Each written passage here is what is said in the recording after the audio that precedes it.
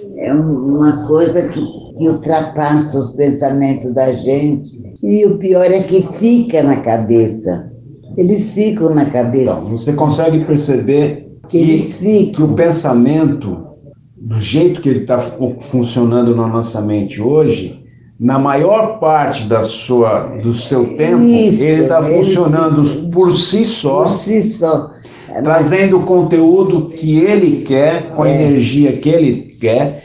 E geralmente ele está se apresentando com coisas que não tem nada a ver, a com ver aquilo com, a gente. com aquilo que você está vivendo no momento. É. Vou citar um exemplo. Às vezes você está assistindo um jornal é. e você não consegue nem prestar atenção nem no jornal atenção, porque é. o pensamento está ali no fundo da mente, no background da mente, com coisas do seu passado, lembranças, memórias ou ele projetando um medo futuro, então ele rouba a capacidade de você viver. Você pensar uma coisa boa. De você viver a plenitude do momento. momento.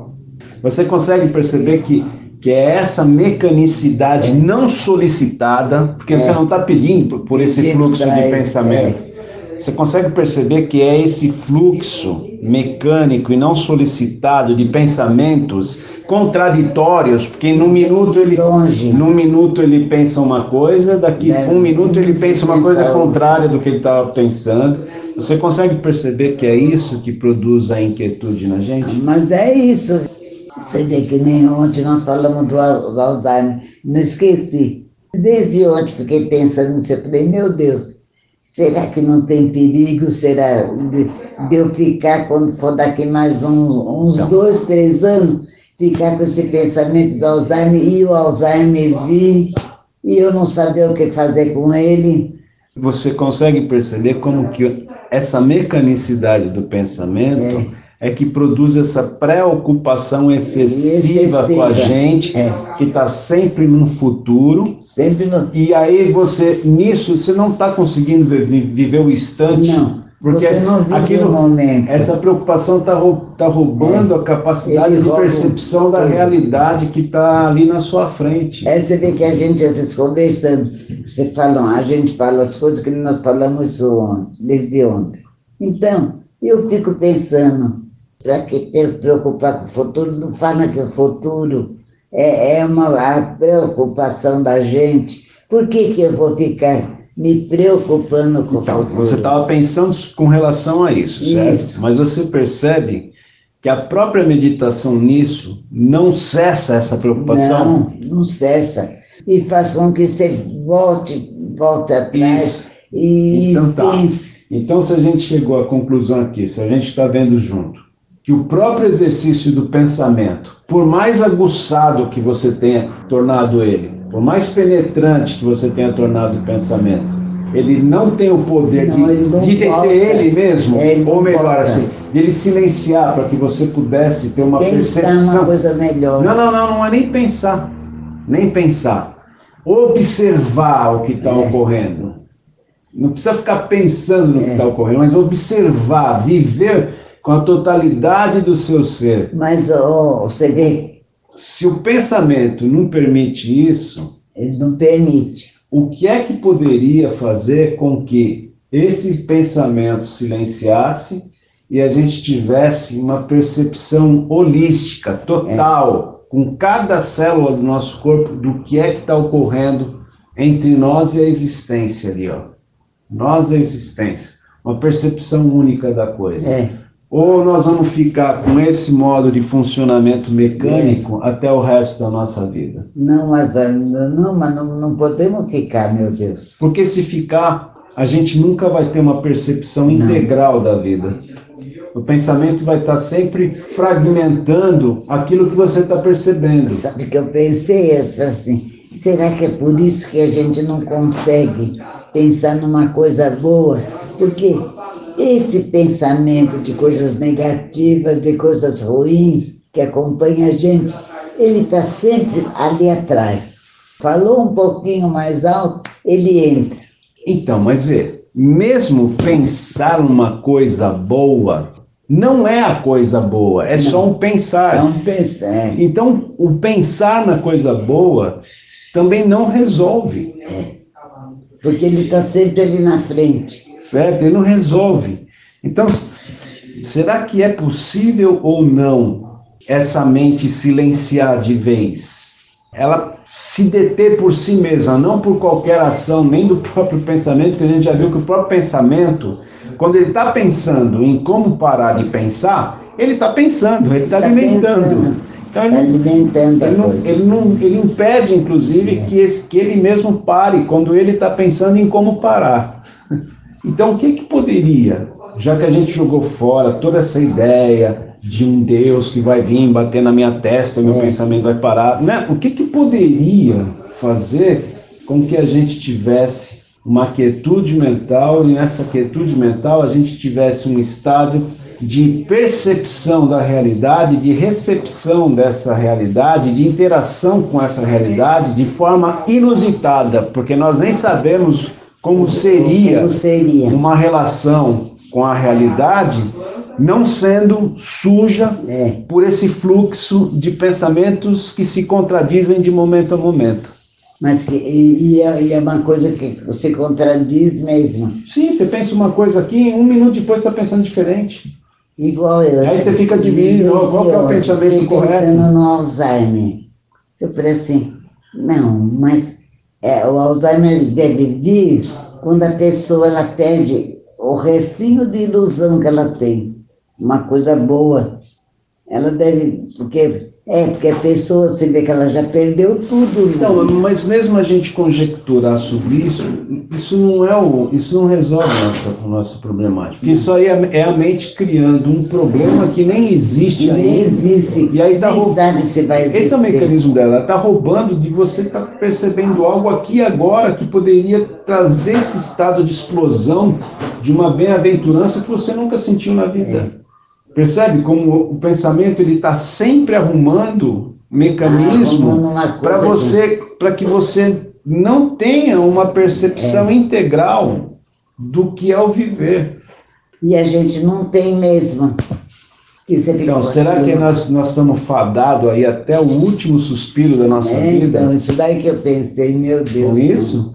Ou será que é algo, ou será que é possível?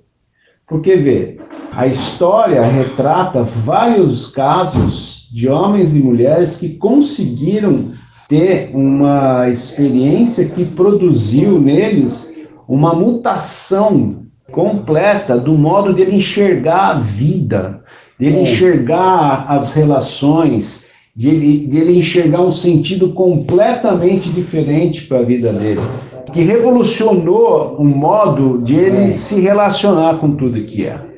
Então, a história prova que é possível isso. Então, o que é que tá mostra, tá... né? É, então... A história mostra que, que existe um outro parecer, um, uma coisa boa que pode vir e, e, debater tudo isso. E o que é que poderia ocasionar isso ou, não, ou isso não pode ser ocasionado por nada? Será que... Será que a única coisa que resta para nós é realmente ficar ali, ó, Esperando. Esperando. Ah, não. Não, Deus tem misericórdia. Nós já jogamos Deus fora. Não, não adianta pedir para Deus mais, nós já jogamos isso fora. Isso é parte do velho condicionamento. O que é que poderia produzir isso? Será que isso é realmente possível ou será que é uma utopia nossa? Será que nós vamos ter que ir com esse cérebro, com essa mente, com esse estado psicológico que a gente tem, que a gente já percebe que ele é extremamente limitado, inseguro, inquieto. Será que nós é vamos ter que, ir, ter que ir com isso? Eu penso que é essa inquietude que faz constante que vai desgastando o cérebro e quem sabe nesse desgaste surgem esses montes de doença aí, né, que vem tirando a, a capacidade do ser humano perceber a realidade, se conectar com a realidade, é. né? Nem digo a realidade real, mas essa realidade que nós condicionamos como seu viver real, isso aí, é. né? E aí? o que, que a gente poderia fazer? Será que tem algo que a gente pode fazer? Ou não tem nada que possa ser feito? Eu a não ser ficar sentado ali o dia inteiro, né? Gente sentado, andando nas suas atividades, ali percebendo o tempo todo esse fluxo de ideias que não servem para nada, esse fluxo de sensações e emoções é. que você percebe que, puxa, que faz mal que, que elas, que elas impedem, inclusive, de você viver bem o momento presente. Você, você pode ver, a gente não vive o momento. É um dia porque não sei o que tem, a gente não vive, outro dia porque também não sei o que acontece, a gente não vive, quer dizer que a gente nunca vive o momento. Não, está o tempo todo preso ou no fluxo do mental, é. né, das imagens, dos monólogos da mente, ou no fluxo das emoções. Medo, ansiedade, tristeza, Só. tédio, vazio. A gente está sempre. Essa estrutura de pensamento e emoções, elas estão sempre roubando a, a capacidade do, de um bem-estar. E é verdade. Você pode ver, a gente não vive o momento. Não consegue. Não, não consegue. Mesmo você que não, vou ficar aqui, daqui a pouco você já vê o pensamento entrando, ele causa uma letargia, uma, uma espécie de uma, uma hipnose. Espécie, isso, uma coisa que, que vai fazer, que, que faz mal. Não é que vai fazer, ela faz mal. Pois é. Ela rouba a alegria faz de mal. viver.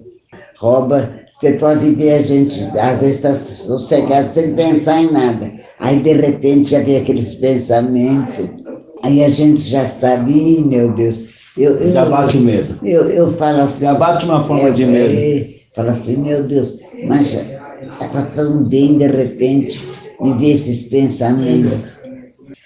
Tudo pensamento que não tem nada a ver, que não tem nada a ver. Não tem nada a ver, não tem nada a ver com a realidade do momento. Nada, nada. Você pode ver esse fluxo mecânico e não solicitado é. do pensamento, ele não tem nada a ver nada com aquilo ver que você está vivendo no momento. Nada. Nada, nada, nada. Ou se ele tem a ver com alguma coisa que você está vivendo no momento, ele não apresenta uma carga de lucidez. Não. A gente sai fora. Uma carga de assertividade para você solucionar aquilo que está ocorrendo no momento. A gente não, não vive o momento. Então. A gente são pessoas que não vivem o momento, que Está sempre, mas eu fico pensando, meu Deus, estou sempre com o pensamento nas coisas ruins que a vida mostra. Pois é. E o que poderia mudar isso? Ontem eu fiquei pensando. Fica a pergunta aí. O que, que poderia é. alterar isso?